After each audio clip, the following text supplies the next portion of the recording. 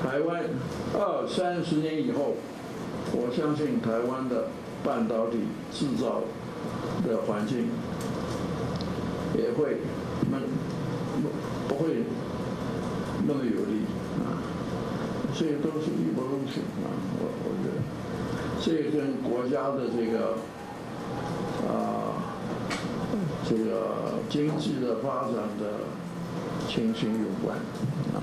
我们的优势之一就是，你知道我们的都是每一分钟都在用这个我们的设备，因为设备太贵嘛。晚上半夜十二点钟，啊，设备忽然出毛病了，那设备工程师。在家睡觉，马上打电话给他，他就 OK，我马上就来。我这个故事我我讲过几遍，讲给美国人听。美国人听了这个说啊，有这样事啊。不过在台湾也不过只是现在的事，二三十年以后就会不一样。那个时候会是谁呢？呃，这个就是你们没没问这个问题。可是我讲这个故事的时候，啊，就啊，美国人就问这个问题。那我说，也许是印度，也许是越南，也许是印度尼西亚，Who knows？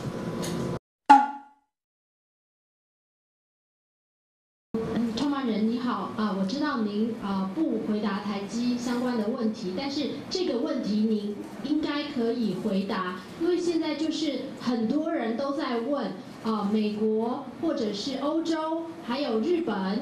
以及东南亚都想要重建自己的呃半导体供应链，因为他们认为半导体是国家安全。那就您的判断，哪一个国家比较有机会可以成功？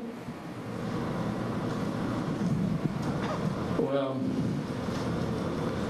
啊，我我是每一个国家都有很多半导体的朋友。但是我还是讲吧，以我的这个过去经验啊，以我的观察，的确，日本我觉得比较理想的一个。事实上，新加坡是一个相当理想的，可是它地方很小。资源并不多，什么水啦、电啦、土地啦，什么并不多。那啊，日本当然比它大得多，嗯啊，尤其是那个九岛啊，九岛是啊，Texas Instruments 是五十年以前，这又是一个五十年以前的故事，就到九岛去，啊啊你。听得见没有，大家？嗯，可以。大家听得见吗？OK。啊，我声音讲的大一点。啊啊，这个尤其是九岛，九州九州九州，啊，这个土地、水电比较充裕。那。啊，比较充裕，culture 这个 work culture 工作文化也是日本整个日本都是蛮好的，啊，九州也不例外，嗯，啊，这个是我在五十年以前就到九州，为了 Texas Instruments，为了德州仪器公司就。到九州去开了一个那个啊装备厂啊装备 assembly and test 这个样是非常的相当满意他们的结果。那新加坡也是一个对这个金金圆厂是一个很好的地方。啊，我们不谈中国，OK，中国其实是一个，不过我必须讲啊，这个也是我，我下个月啊，不是下个月，下两个礼拜以后，我会在 MIT 啊，Boston 的 MIT，我的母校啊，我会。发表一篇演讲啊，就是关于 chips 的演讲啊。我会在那篇演讲里，我会讲，其实美国一九五几年、一九六几年、五零年代、六零年代以及七零年代初期，一直到。七二七三吧，我我在美国的经验，半导体经验是从一九五五到一九八三，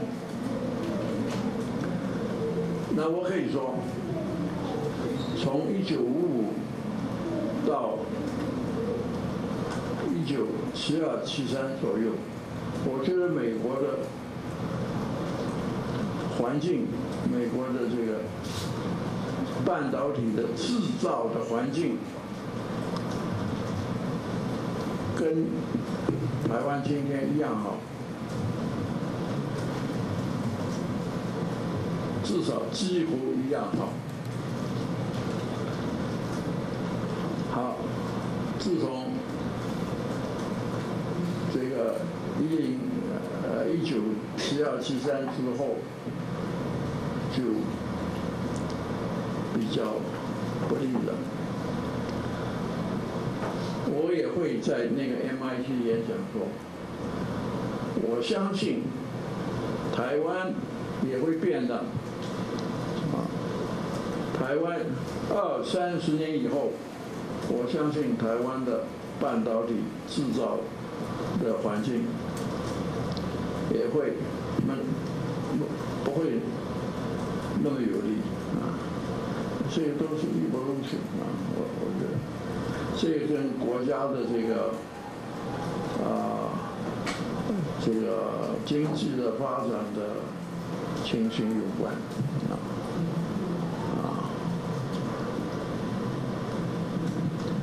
那在美国的情形。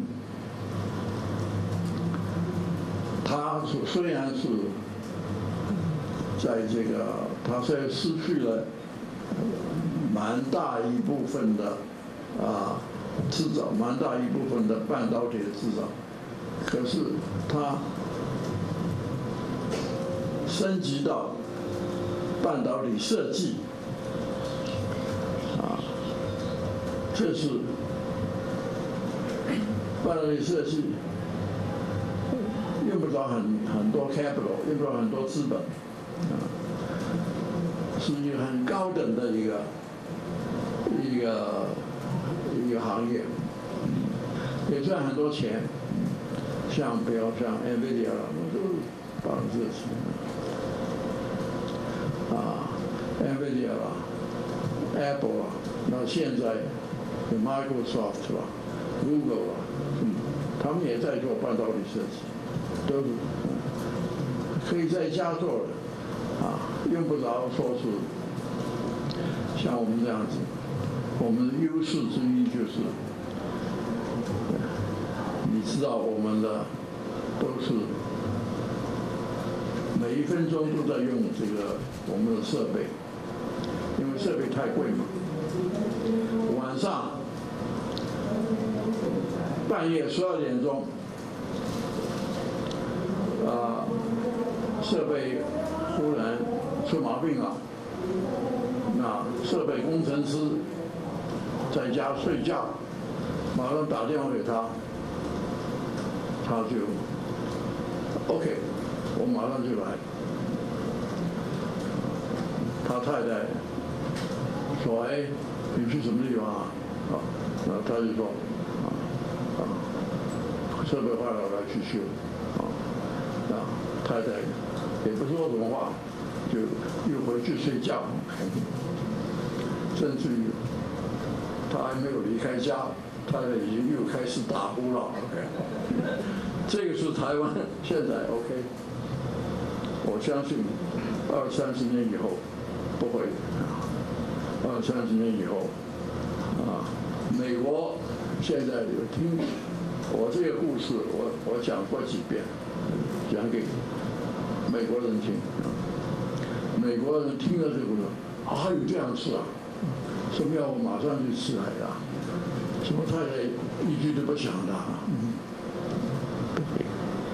不过在台湾也不过只是现在的事，二三十年以后会不一样。那那个时候会是谁呢？呃，这个就是你们没没问这个问题。可是我讲这个故事的时候，啊，就啊。美国人就问这个问题，那我说，也许是印度，也许是越南，也许是印度尼西亚，Who knows？